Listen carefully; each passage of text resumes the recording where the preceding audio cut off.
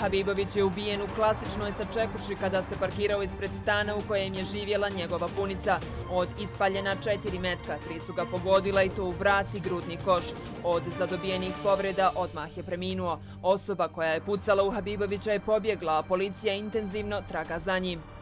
Ime Senada Habibovića poznato je tuzlanskoj javnosti po nizu krivičnih dijela, koje je počinio u posljednjih desetak godina. Višestruko je osuđivan na posljednji put policija ga je uhapsila sredinom prošle godine u velikoj akciji kada je razbijena grupa narkodilera.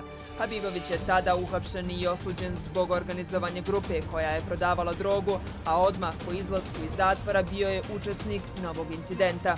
Ramiza Vuković, punica Senada Habibovića, kaže kako je čula pucnjemu, te da je Habibovićeva supruga posumnjala da je u pitanju bistvo njenog muža. U Habibovića je u maju ove godine kod tržnog centra na Brčanskoj Malti pucala tada nepoznata osoba, da bi nakon višednevne potrage zbog toga bio uhapšen Kenan Nurkić. Habibović je bio u sukobu i sa grupom Beriza Kalibovića koji je u zatvoru, a sukobi su postojali i sa Damirom Mehićem Bibijem.